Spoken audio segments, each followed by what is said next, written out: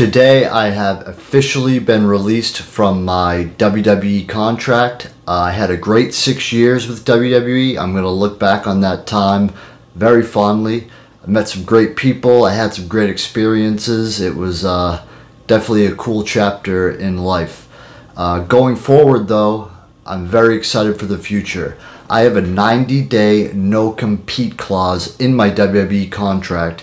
So that brings me to about the first week of February where I'll be able to work anywhere in the world. So uh, I'm very excited for the future. I just want to say thank you to all the WWE fans um, for sticking with me, and I hope going forward you'll continue to follow me and stick with me. And um, I'm very excited for the future.